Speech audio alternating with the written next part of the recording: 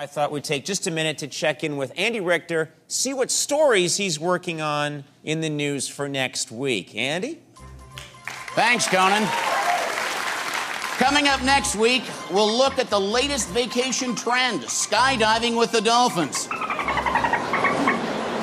And is the office funeral replacing the office birthday party?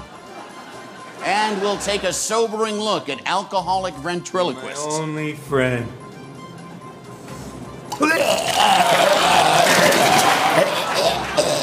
Plus, are aliens trying to tell us something?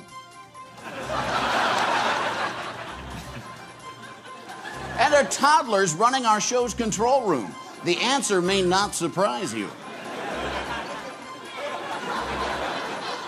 And finally, animal catapults. Are they really making a comeback?